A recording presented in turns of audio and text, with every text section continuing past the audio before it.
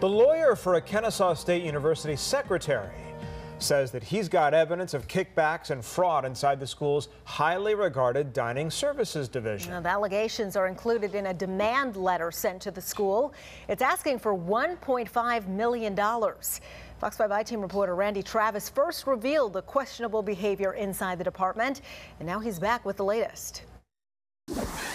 Those allegations are spelled out in this letter advising the secretary plans to file a lawsuit because of the way she's allegedly been treated since our report broke in October.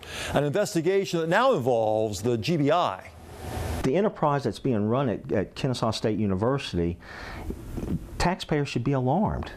It's pathetic. Do you think KSU really wants to know the truth here? No, no. No, they don't. They want to stick their head in the sand and pretend this isn't happening. Holding little back, attorney Mike Puglise shared with the Fox 5 I-Team what he's already sent KSU and the GBI. Evidence he claims proves former school dining services director Gary Coltek was secretly being paid on the side by KSU vendors plus raising questions about how much food is really grown at the KSU owned and operated farm. It's complete fabrication of numbers. It's home cooking the books. Student volunteers help run Hickory Grove Farm a few miles from the KSU main campus.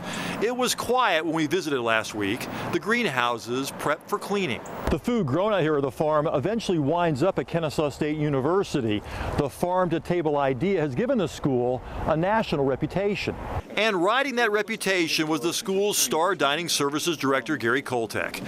He suddenly resigned after we began asking questions about his outside business dealings and why he was using his secretary, Tracy Nunn, to do his private work on KSU time. Um, I just did um, the work that was required of me as my job duties for KSU by instructed by Gary Coltek. Coltek managed millions of tax dollars at the school. Our investigation was the latest in a string of questionable decisions stretching back years. Yet, up until our story, Coltek always kept his job, prompting the state attorney general's office to ask the GBI to also investigate KSU administrators for failing to act. Employees have been coming forward since uh, your investigation, have been calling me, sending me emails uh, with, with other information. Like these harvest logs at the KSU farm from August of this year. They list how many pounds of each vegetable was supposedly transferred to the school dining services facilities. But on multiple places, the weights listed on the transfer form don't match the weight from the actual harvest logs. 4.5 pounds of zucchini harvested from a specific location suddenly became 45 pounds on the transfer form.